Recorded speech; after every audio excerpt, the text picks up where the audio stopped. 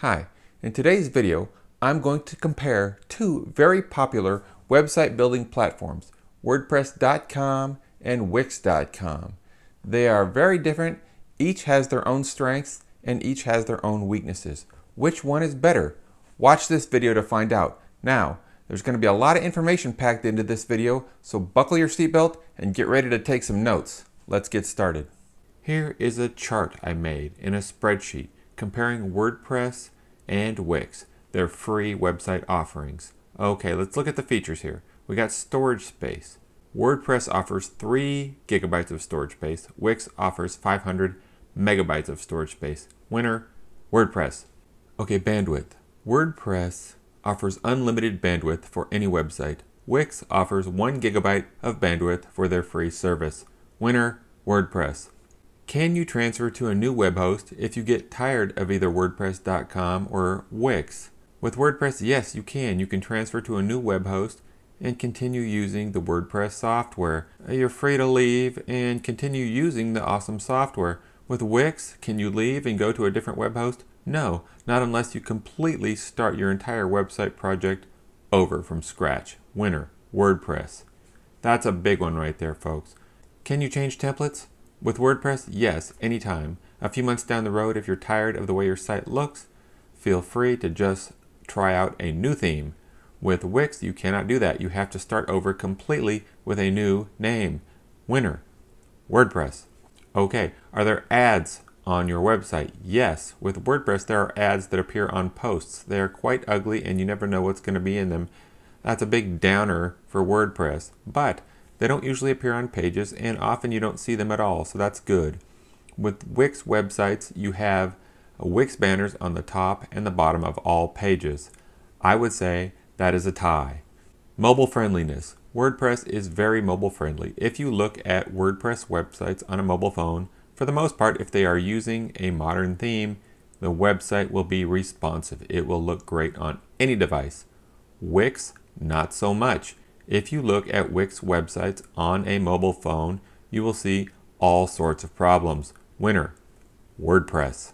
I just looked up websites made with Wix and I pulled up the first one I found and I put it onto a site called mobiletest.me and you can see what a website will look like on a mobile phone. This is what this Wix website looks like on a mobile phone. This is the main page.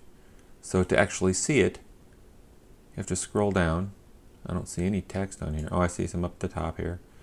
In order to see the rest of it, I have to scroll to the right. Not exactly what I would consider mobile friendly though. Let's try another Wix website on this test page.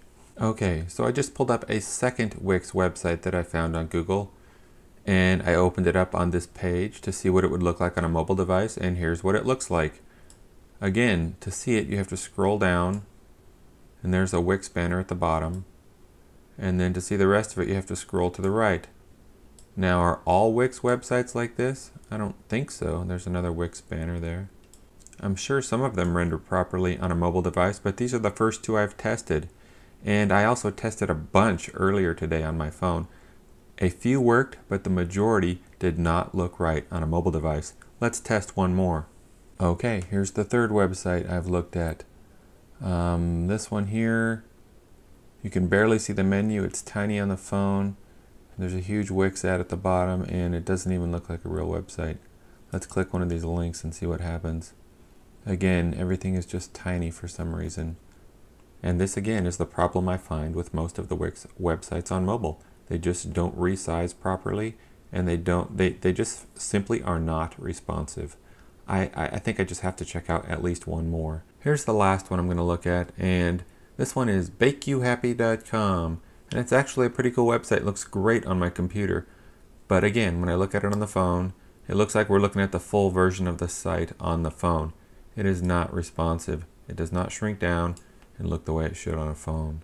Looks like number five, we finally hit the jackpot. Here's Maverick Thought.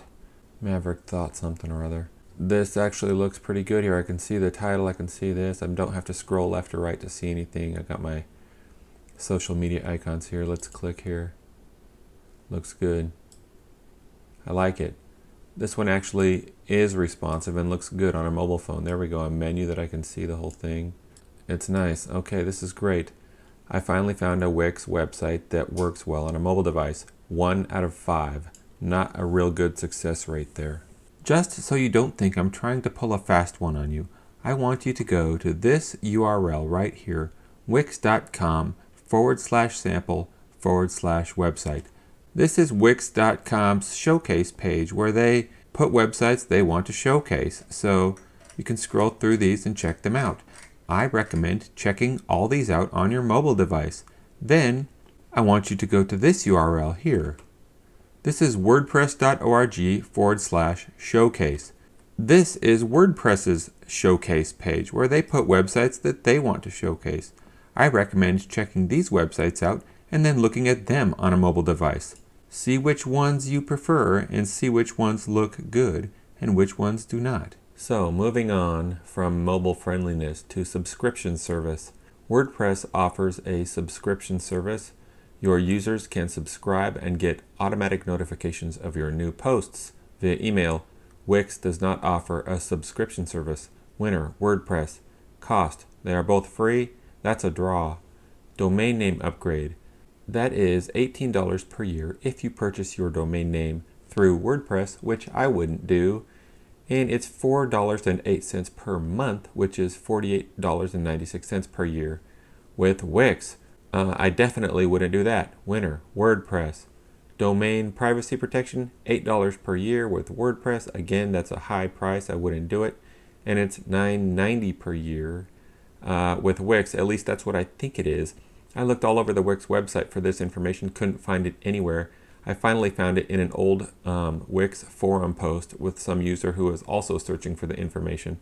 So I think that's accurate, but I don't really know. Anyway, winner here, WordPress.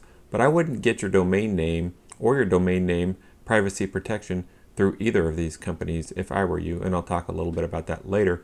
Domain name mapping is free with WordPress. In other words, if you have a domain name already, you can connect it to your WordPress.com website. Um, that costs $4.08 per month with Wix, Winner, WordPress, custom CSS, altering your fonts and your colors, etc. WordPress.com does not offer that. You have to buy it as an upgrade. Wix does not offer that either. That is a draw. E-commerce. Are they e-commerce ready? No, the WordPress.com free offering is not e-commerce ready, and neither is the Wix.com free offering. That's a draw. We already talked about mobile friendliness. I just decided to include this twice. Winner, WordPress. Support. You get your support through the WordPress community. And with Wix, you get your support through the Wix community. I would say that's a draw, depending on which community you think is better. Drag and drop creation. In other words, how easy is it to actually create your website with these free services? Well, WordPress does not have drag and drop creation. Wix does. So Wix is the winner in that category in terms of it being easy to create a website. Yes, Wix is easy to use. That's pretty awesome. But as you have seen, the fact that you have granular control over each element on your website does lead to problems with mobile devices. And you have seen that. So you can say that the winner there is Wix. Really, it might be a draw. A favicon, that's a little tiny icon on the tabs on the browser. Neither WordPress.com nor Wix.com offer that in their free versions. That's a draw. Okay, so now let's compare the premium plans that WordPress.com offers and the premium plans that Wix offers. WordPress Premium Plan. You have your own domain name, but you have to pay extra for privacy protection. You have the ability to edit your site's CSS. In other words, you can have custom fonts and colors and things like that. There are no ads whatsoever. You have 13 gigabytes of storage. You have VideoPress, which allows you to upload videos directly to your website with no watermarks and things like that. But you do have limited space there with your video uploads. And you have direct email support. That's going to cost you $99 per year. Now, WordPress also has a business plan. They will give you access to all their premium themes. You can have e commerce on your site these are a couple of the vendors that do the e-commerce for WordPress.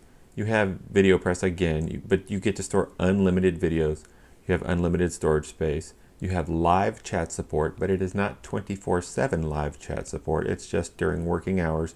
And then they include access to Google Analytics, which really isn't even a feature because anybody can use Google Analytics if you have a Google account. That is $299 per year.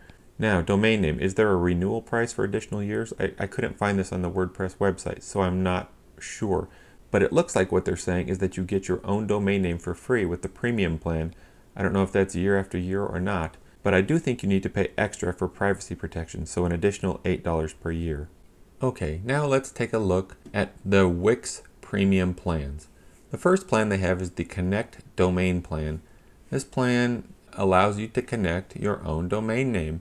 That's pretty much the only difference between the free version of Wix and this plan. It costs you $4.08 per month if you purchase a year up front.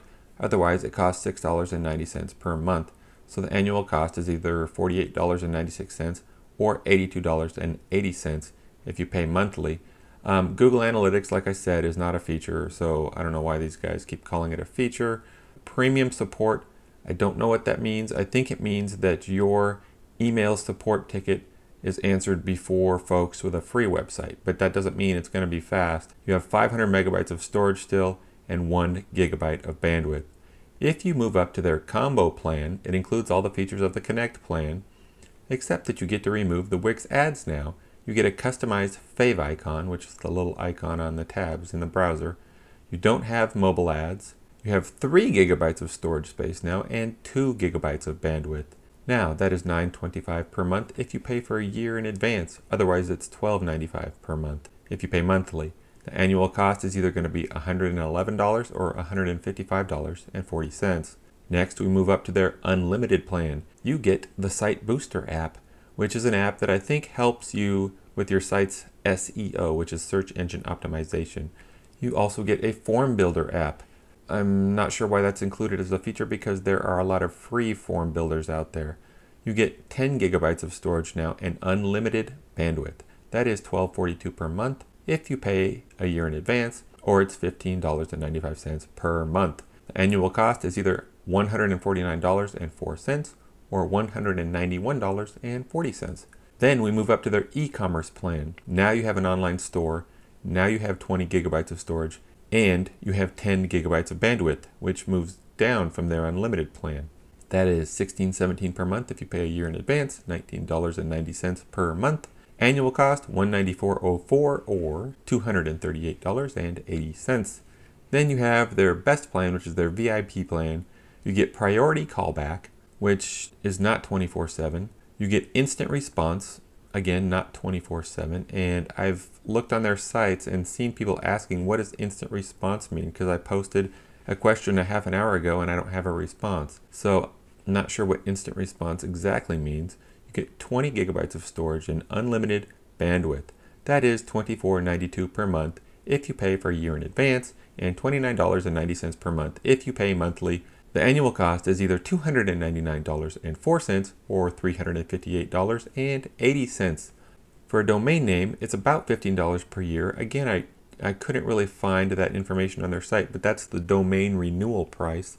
And then, like I said, privacy protection is, I think, about $9.90 per year. So, there are the WordPress premium plans versus the Wix premium plans. But I have another option for you. Okay, so you're watching this video. That means you want a website. There is another option for you. You can use WordPress with a web host. I recommend InMotion Hosting. They're the host that I use myself for all my websites. Look at the benefits of using your own web host and using the WordPress software. Hosting is $3.49 per month. That's less than a latte. Your domain name is going to be about $10 per year, and privacy protection is going to be just a couple dollars per year with a registrar like Namecheap. There are no domain name or domain mapping restrictions whatsoever. Google Analytics is not really a feature. I'm not sure why I even included that. There are never any ads on your website anywhere. You get 24 7 free all the time in house technical support via chat or via phone. You have unlimited storage space, unlimited bandwidth. Your site is e commerce ready. Well, if you get the Pro plan, it's 449 per month with my link in the description instead of 349 per month. Basically, you just get additional databases which you probably will need for an e-commerce website. You can use any platform you want, even if it's not WordPress. Custom CSS, yes, you can alter your CSS in any way you see fit, and you can also alter any other code on your entire website and totally blow the thing up if you want. You can have a whole bunch of email accounts in the form of uh, whatever name you choose at yourdomain.com. InMotion provides free backups with all accounts. Most web hosts actually charge for that. You get 25 subdomains with InMotion's cheapest plan. That is subdomain.yourdomain.com. It's basically like having another website almost. And of course, you can have a favicon.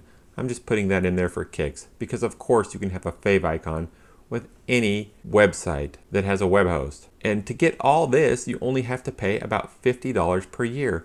Are there any cons to using your own web host? Yes, of course, there are cons and pros to every decision you make. The cons of using a web host as opposed to a system like WordPress.com or Wix.com is that it's going to be a little bit more technical. You have to pay more attention to security, backups, and things like that. And since you can edit the code in any way you see fit, you have to be careful when you're making changes. There's a lot more to it, but it is a lot more dynamic and it's a lot more expandable and it's a lot more full featured than anything you're ever going to get through WordPress.com or Wix.com. Okay, I'm going to admit that this review is not completely unbiased. I'm a big WordPress fan and I'm not a huge Wix fan. Let me tell you a few of my biggest problems with Wix. Number one, if you start with Wix, you're stuck with Wix. That's not the case with WordPress.com. You can start with them and then decide that you want your own web host later, and you can still use the WordPress software on your new web host. That is not the case with Wix. If you start with Wix, you're stuck with Wix, even if you don't like them. Number two, Wix websites don't typically render well on a mobile device. If you don't believe that, go to Google, type in Wix website examples, go to your mobile phone and look at all those websites. And believe me, you're going to see a ton of problems. A ton. Number three, the Wix e-commerce solution is not the best. It is not robust at all. And if you go with Wix and expect their e-commerce solution to be all encompassing, you're going to be sorely disappointed I believe. I also don't like that there is no subscription service offered with Wix. If I am a website owner and I'm sending out blog posts every week, I want my site subscribers to be updated automatically of my new posts. Wix doesn't have that feature, but WordPress does. Also, I don't like the fact that once you pick a theme in Wix, you cannot change that theme later, even if you want to change up the look and feel of your site that is so limiting that it, it, it's totally unacceptable, in my opinion, for a serious website owner. So I say go for WordPress. Beyond all that, I think that you should go with WordPress and a web host because then you get everything we talked about today at a very low cost for about a sixth of the cost of either of these platforms, WordPress.com or Wix.com. You can still use the WordPress software and have access to thousands of plugins, thousands of themes, and you have no limitations on your website if you get your own web host, your own domain name, and then use the WordPress software. That's the way to go. So I hope you found this review helpful today, and I hope that you make the right decision with your website. Let me know how it goes in the comments.